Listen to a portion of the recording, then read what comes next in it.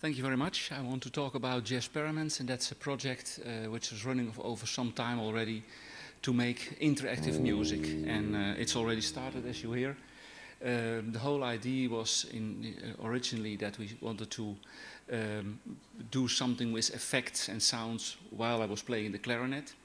Well, you see a lot of, a lot of keys on these instruments, and it means that when you want to play extra sounds, like a bass part, which is already running, um, then you need uh, pedals or something. But all, the whole idea was, what's the more natural interface for music than a microphone? And that's what we did. We hooked up a microphone and we started, experimented to make automatic improvisation, automatic accompaniment and things like that. I can give you a little example already, what, what happens when you play a clarinet with this computer program and, and how it sounds.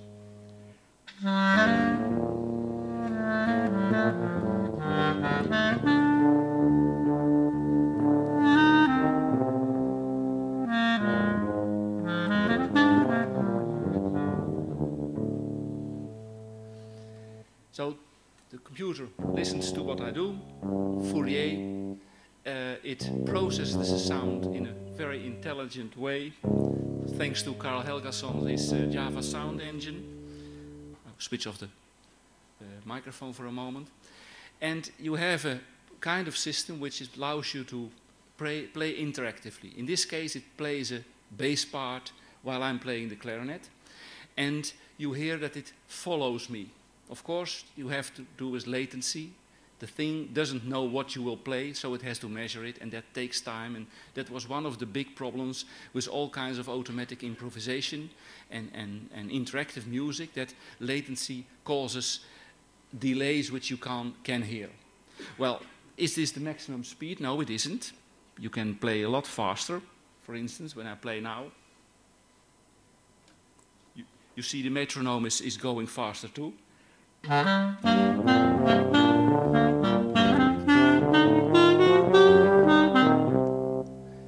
Now it's already in sync.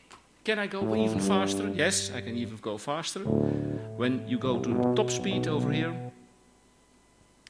now it uses all the power it has to calculate things.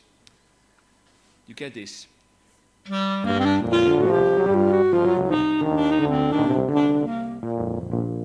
But you see what happened?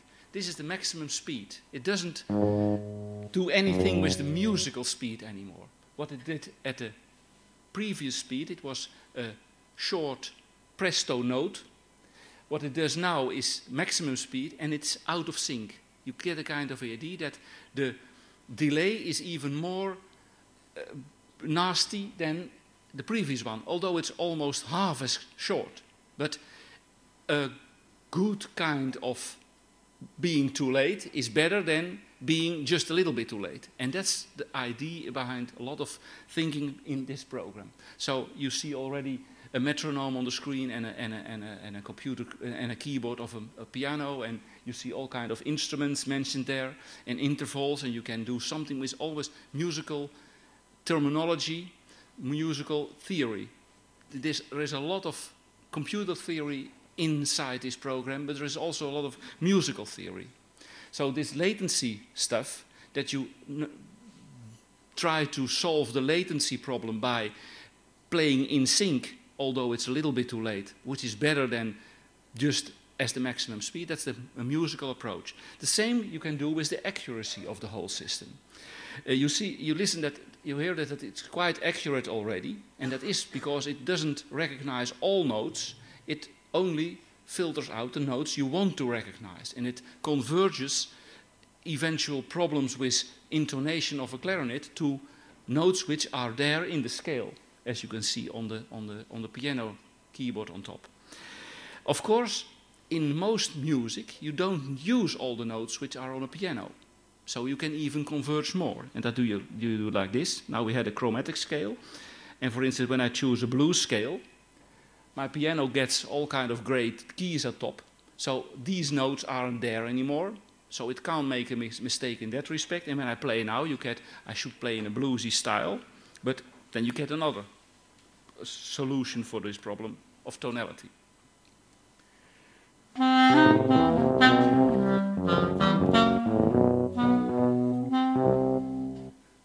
Well, see, now the notes of the, on the keyboards even changed because it notices that my first note was a, a C and that it has to switch the scales to the right to play the right scale over there. In fact, what we what, what you do in this way is that you can make a kind of presets of accompaniment and play quite freely. We did a lot of experiments with kids and, and, and, and, and in schools. You can play quite freely, and the computer always plays something which is, well, more or less agreeable. You can handle it. It, it is, it's a way of adding extra voices to a, uh, when you're singing or when you play a clarinet or something. It is actually kind of, of um, accompaniment. And of course, there will be improvements possible. I will come to, that later. But it's already quite useful in that respect. Um, I can give a little uh, impression what you can do uh, more do with the system. For instance, when you have, uh, uh you can kind choose all kinds of intervals you can, you can set that it will play uh, an octave lower or higher than what you played. It can play in a certain octave always, so that when whatever height I play, it plays notes on, in, a, in a certain scale, plays it back. And even what you can do, you can invert it. And now you get a very strange effect. When I play high, it plays low, and other way around. That was low.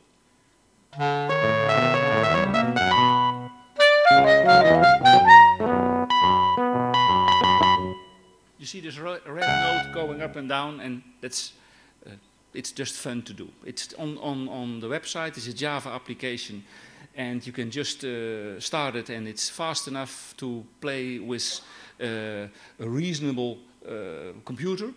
You need kind of good microphone. When you do it with the built-in microphone of a laptop, you get feedback, and it, it's it's not as nice as when you have some kind of microphone. But uh, anyone of any microphone of of, of, of fewer euros is, is good enough.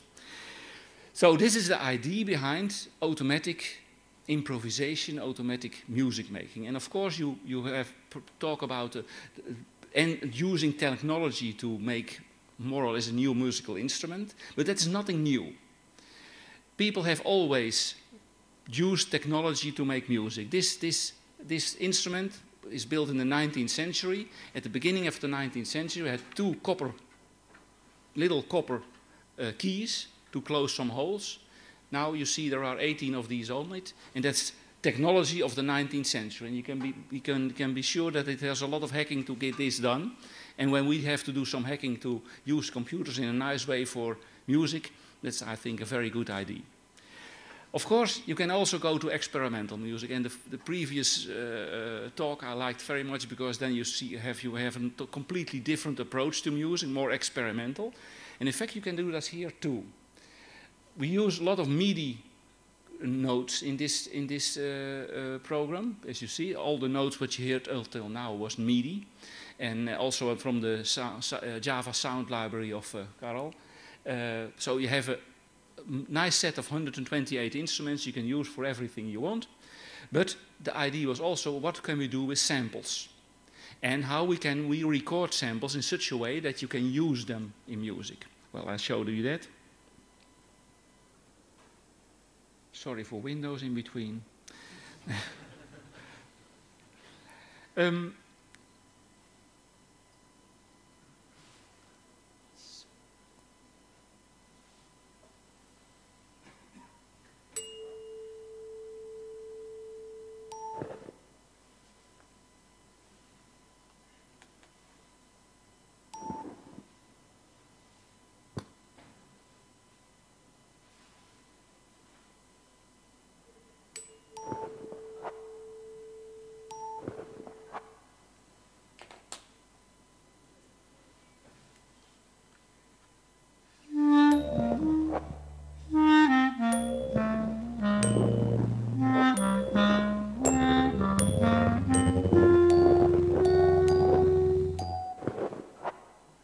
sounds or everything made just right now. And it's even possible to continuously con uh, uh, record new samples.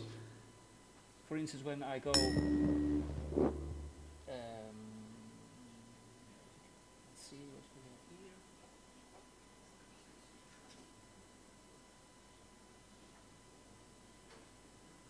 Now it will uh, automatically record new tonal samples in this green voice. So we have four voices.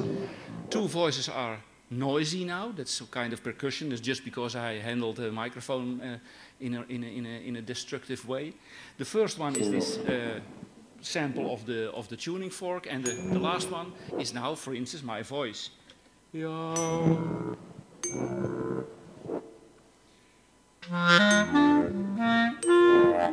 And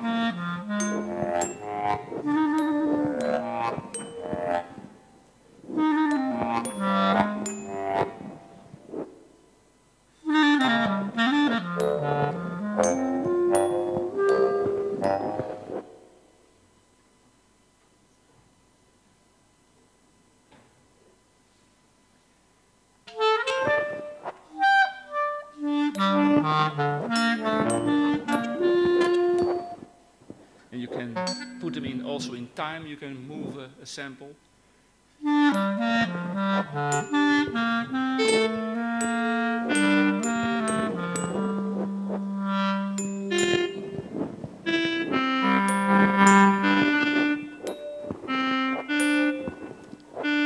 Sometimes it stops, sometimes it doesn't. But um, you see that, that this is more of a much more creative, but also much more unpredictable way to use your uh, uh, uh, instruments. But of course, you can use it in many ways. In, in, in, in we did a project on John Cage uh, last uh, uh, autumn, and then we had uh, not only this very technical, musically technical uh, interface, but also other interfaces to use. For instance. Here you show the notes in harmony.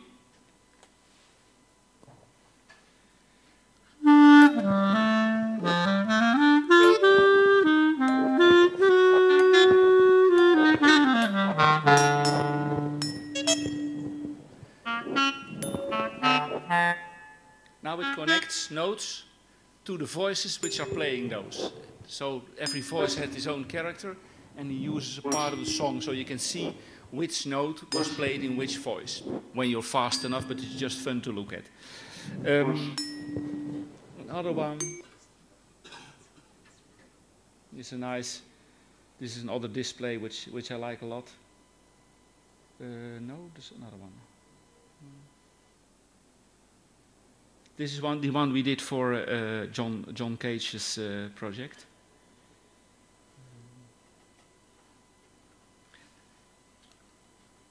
John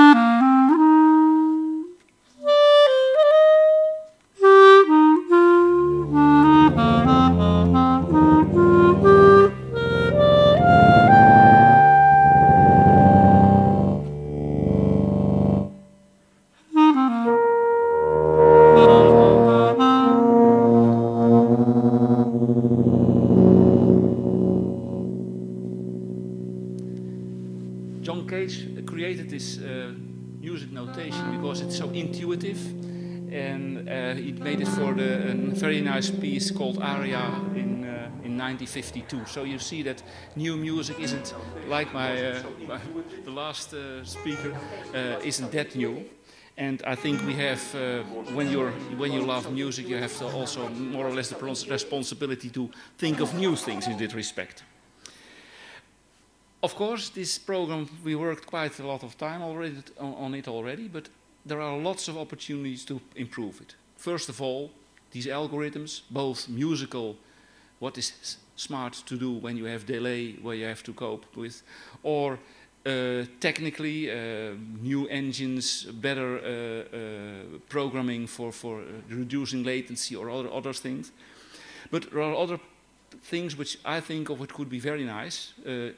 I love it, the idea that a user interface for music is a microphone. You don't need anything else, no pedals, no buttons, no stuff. Um, but the camera inside the computer could be used for tempo indications, let's be, be clear, when, when uh, the uh, director is for an orchestra, he uses his hands just to make gestures, and why couldn't a, a computer recognize those? Other things you can think of is that uh, there is ha special hardware for Fourier analysis, so which is built to measure as fast as possible the frequency of a note. You could use that too. So everybody who likes this idea and wants to uh, any, anything to, to do with it or to work on it, you know the website. It's in the in the little booklet and and uh, and uh, Jess. Uh, when you type in the name, you will find it soon enough. Um, when there are any questions, um, just ask them. Maybe there are some people who want want to do something with it. Yes.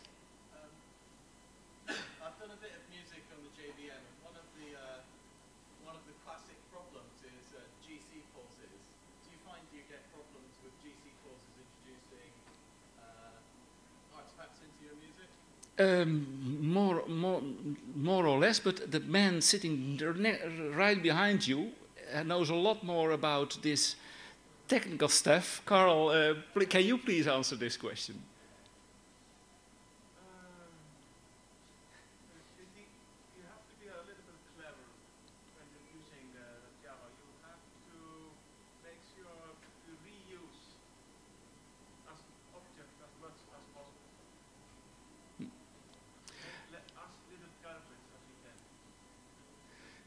Well, what in, in practice, in, the, in, in, in uh, using MIDI notes, there is no problem with latency whatsoever.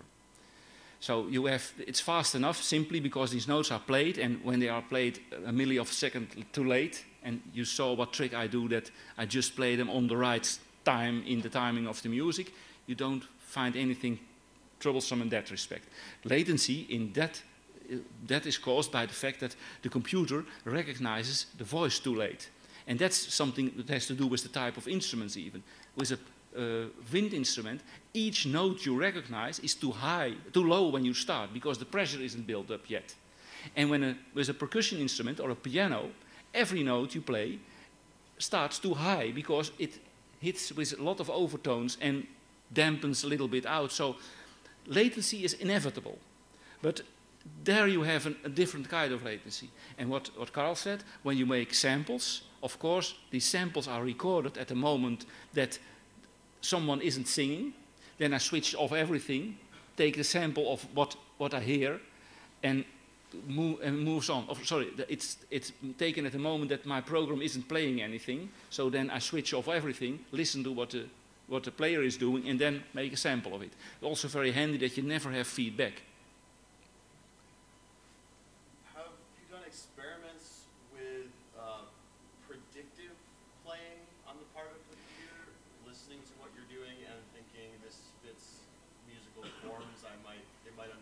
Yes, yes. The, yeah, yeah, yeah. No, it, it is that, that's true. In, in, in fact, what, what you can do is with uh, and and I can and pick the setting. You see that here we have a um, you have in this on the bottom have, you have that the scale can be selected automatically.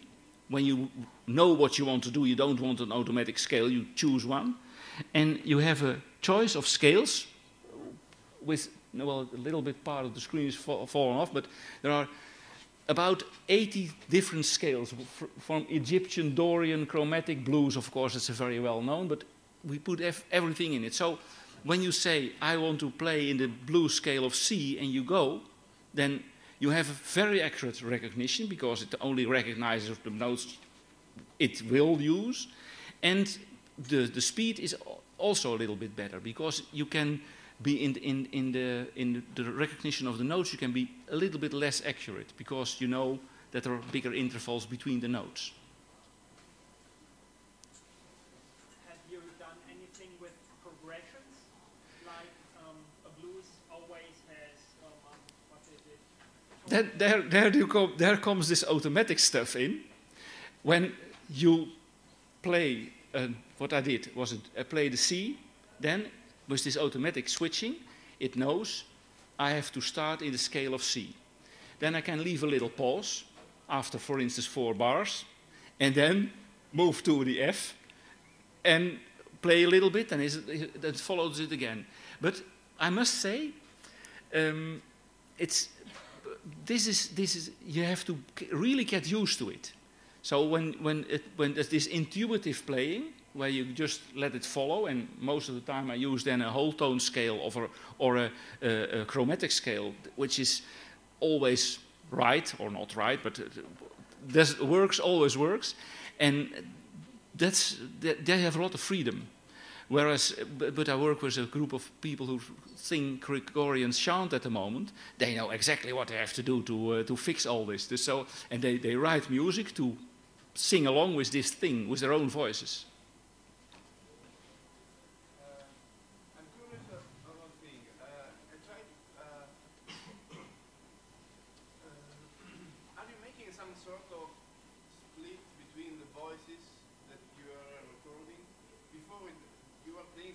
Yeah. Yes, that, that's, that's, that's quite simple. How, how is the logic of this?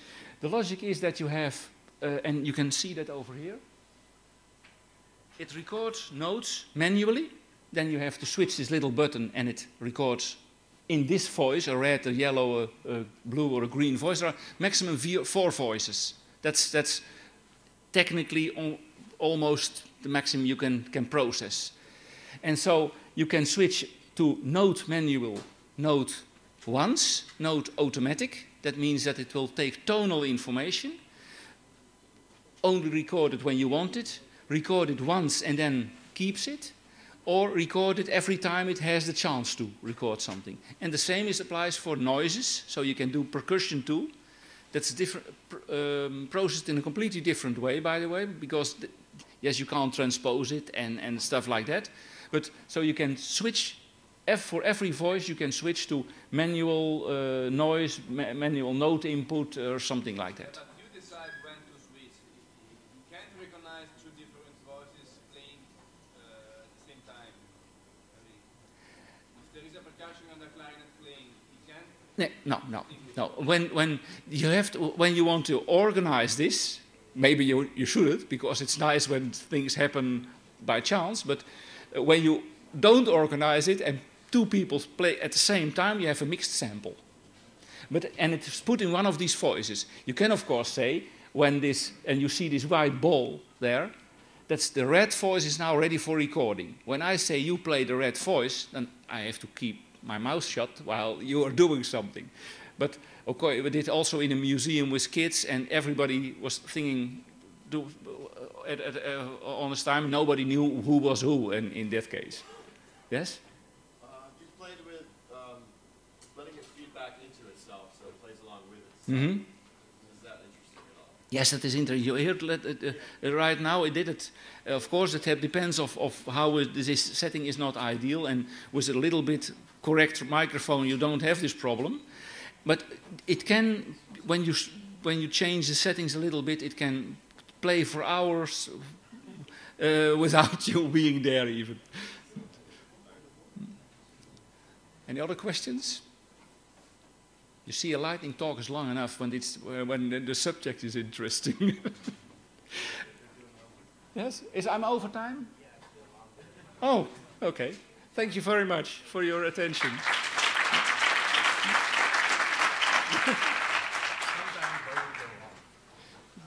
Oh.